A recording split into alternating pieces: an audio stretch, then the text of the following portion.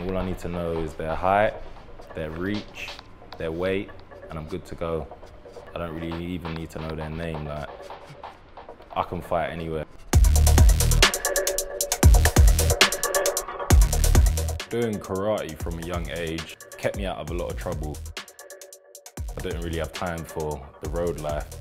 They call it a roadman. I was like kind of a roadman, but I was in and out. I've literally had a knife to my throat and I've been able to disarm the guy thanks to my, my instructor. I owe everything to karate. It's incredible what this dojo's done. It's created a lot of champions. If you want to learn real karate, this is the best place to be. Before any of my karate sessions, I usually head down to Hampstead Heath and I do a calisthenic session with like a group of my friends.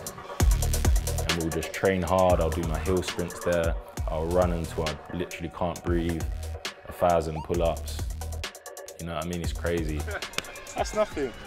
I'll eat that all day long. Light work. Light work. My preparations for this fight have run pretty smooth. I don't really feel pressure. Like, what's pressure? I've come from literally nothing. I've come from an estate where people don't even make it out. People make it to jail. So if I lose, I lose. At least I'm doing something with my life. If so, there's more pressure on him. I'm a young bull, I'm 23, I'm raring. When he's got a young bull in his face throwing punches and non-stop barrage of techniques, he's, he's gonna be in panic mode. And I know I'm gonna take him out, no problem. So pressure don't exist to me. Baby Donna, bring your A game, boy. I'm telling you, bring your A game. You're gonna be laying in that pit and you're gonna be sleeping, mate.